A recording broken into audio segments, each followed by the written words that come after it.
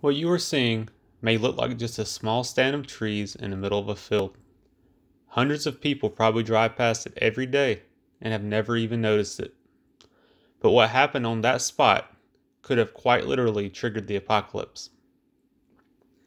The night of January 24, 1961, would go down as one of the most terrifying aviation events in American history. In fact, this is what the morning of January 24th could have very well looked like.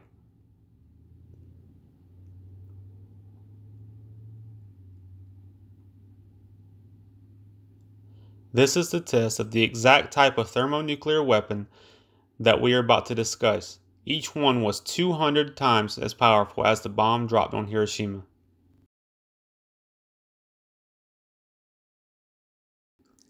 But it didn't start off that way. In fact, to First Lieutenant Adam Mattocks, who was just 27 at the time, it was every bit of a routine mission that they had flown dozens of times before. The bomber is part of about a dozen B 52s that stay airborne 24 7 on high alert to defend the country against the Soviet Union. The B 52 was based at Seymour Johnson Air Force Base near Goldsboro, North Carolina.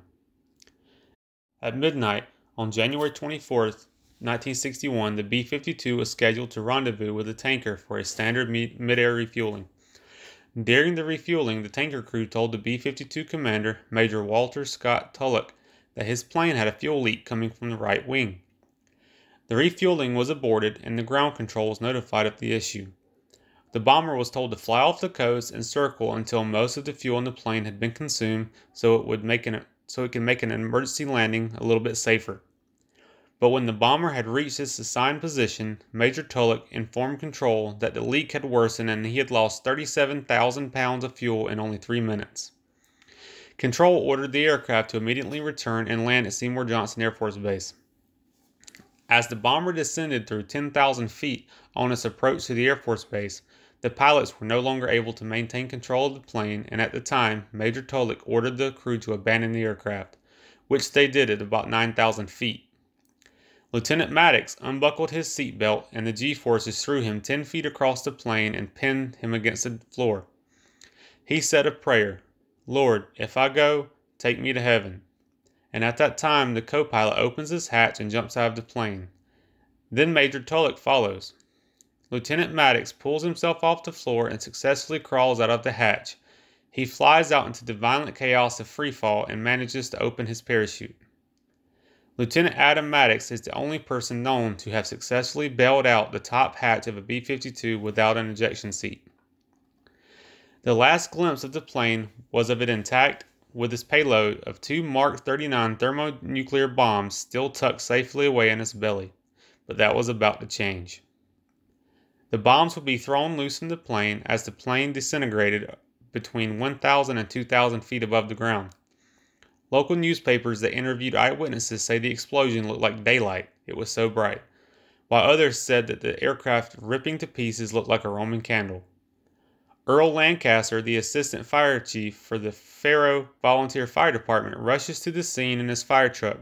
Within an hour, helicopters swarm the area. Air Force officials urge everyone to evacuate.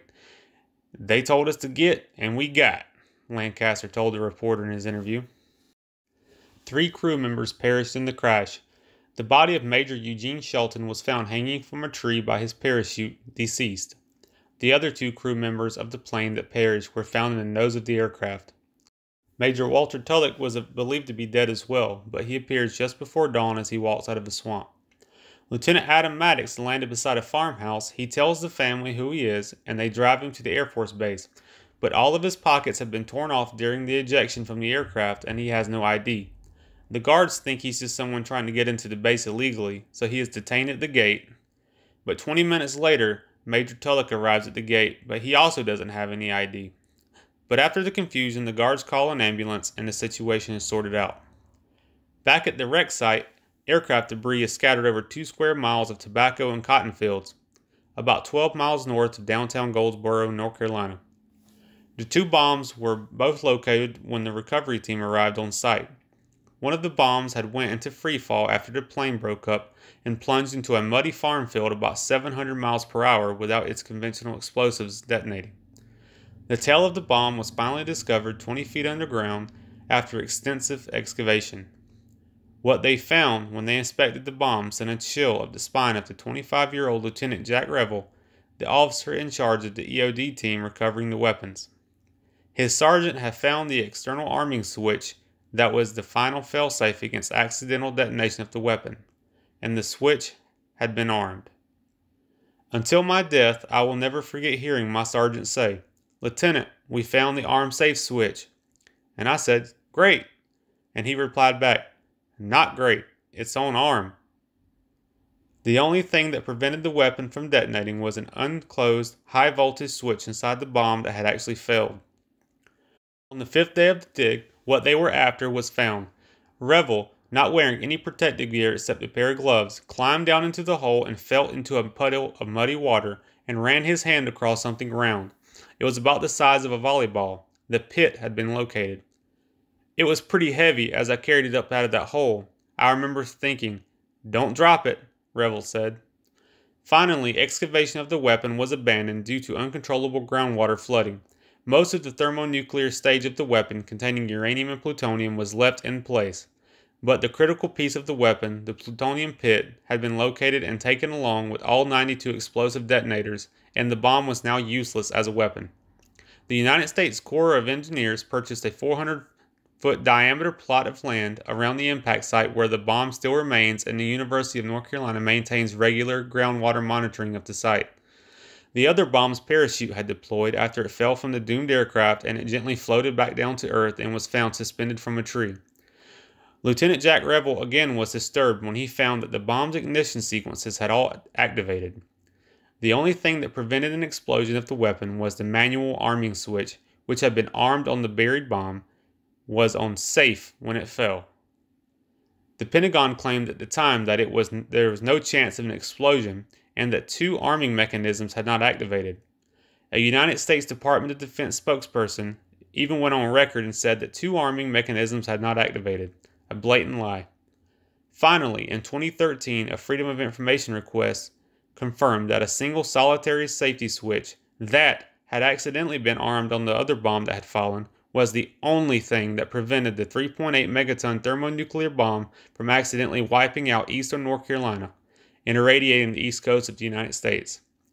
Not only that, considering the level of tension between the United States and the Soviet Union at the time of this accident, if this event had actually resulted in a nuclear explosion, it could have easily been misconstrued as a first strike from the Soviet Union and triggered an all out nuclear war.